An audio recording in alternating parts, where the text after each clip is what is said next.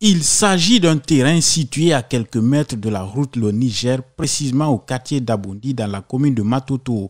Alassane Kamara, c'est le nom du propriétaire de cette maison en chantier qui a reçu la visite des agents marqueurs du ministère de l'Habitat. Dans cette opération de déguerpissement des emprises des routes de la capitale, son chantier a été identifié par les agents. Une situation qui inquiète ce jeune homme qui dit avoir détenu tous les documents du ministère l'autorisant à réaliser son projet sur ce domaine. Il y a un bureau qu'on appelle Wari, c'est eux qui sont venus faire la délimitation.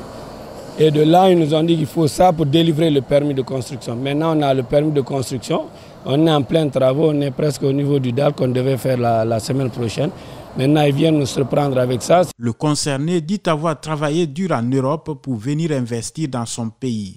Alassane Kamara dit être déçu de voir cet investissement détruit. C'est pourquoi il invite les autorités à revoir cette façon d'agir. Je trouve anormal quelqu'un qui se cherche, qui investit sur quelque chose, ayant des documents légaux venus, venus du gouvernement même, et venu, venu détruire ça en un clin d'œil. Je ne sais pas sur, sur, quoi il se base, mais je ne je trouve, ça, je trouve pas ça sérieux.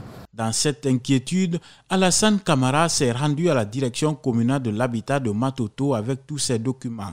Après toute vérification, la directrice a promis de remonter cette information aux autorités compétentes. Des fois, on délivre des permis hein, et dans le plan d'implantation, les gens ne respectent pas les emprises.